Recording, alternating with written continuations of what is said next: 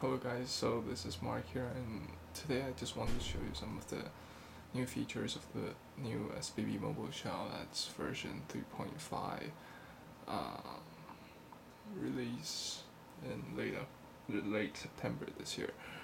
Uh, as you can see here, like the interface is quite great and finger friendly. You can slide your finger like this across the screen and just flips to another page and you can do this to the other side too.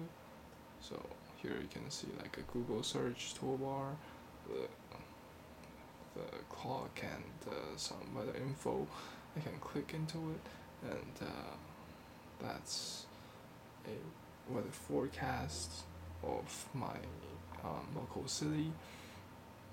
That's for Thursday, Friday, Saturday and Sunday. And also it's got the um, temperature forecast for the night, morning, day, and evening.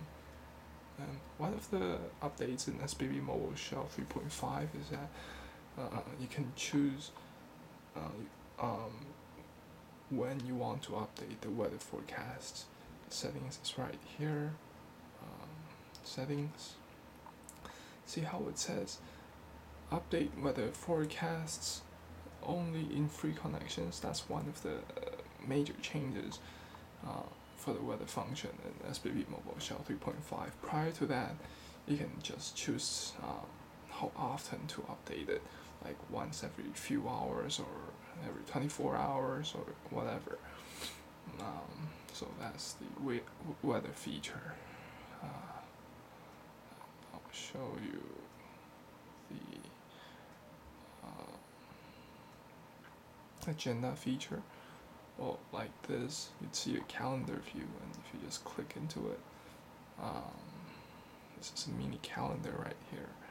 And uh, I'll minimize it.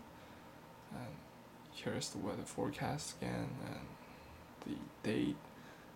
If, if you got like an appointment or something to do on that day it would show up like hey like you got something to do at 5 o'clock in the afternoon. And also what you got to do like um, you got a meeting with someone or something and the location where you're going to do it. So that's the agenda feature. Uh, also there's the contact uh, SPB mobile shell these are the favorite contacts. You can save it for people that you call most often and the button right here is for the full list of all your contacts. And uh, it's pretty much the same so nothing special. Um, one of the things really remarkable about this version update is that it's really a battery saver. Prior to its installation of this app um, my, bat my battery pack lasts just two days and using SPB Mobile Shell 3.5 uh, lasts about three and a half days now, so that's something really great.